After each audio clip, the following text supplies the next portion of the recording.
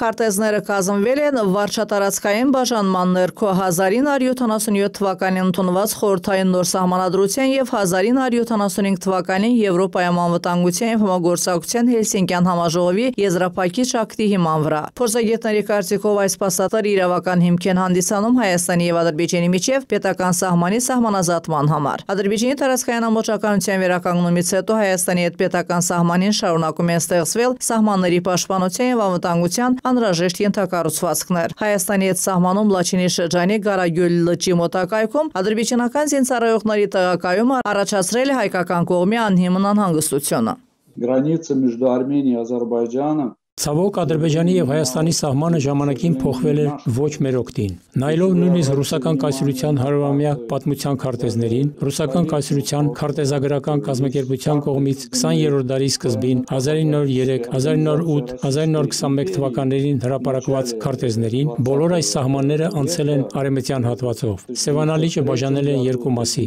Զանգեզուրը կազմում էր Ադրբեջանի մի մասը։ Ցանկանալով իր վերահսկողության տակ պահել Ադրբեջանի Գարագյոլի արքելոցը Հայաստանը ուղերձ է պատրաստում հապկին։ Այս մասին հայկական կողմը արդեն հայտնել է։ Գարագյոլի պետական արքելոցը բարձր լեռնային Գարագյոլ լճի շրջակայքում ստեղծվել է Ադրբեջանի ԽՍՀ տարածքում 1987 թվականի նոյեմբերի նախարարների խորհրդի որոշմամբ։ Նրա Ադրբեջանի պատկանելիության հարցը երբեք չի վիճարկվել, քանի որ հայտնի է, որ Միութենական Հանրապետությունը կարող էր այդպիսի տարածքային կազմավորումներ ստեղծել միայն իր տարածքում։ Անցյալ դարի 90-ականների սկզբին Հայաստանի զինված ուժերը Լաչինի շրջանի հետ միասին օկուպացրեցին նաև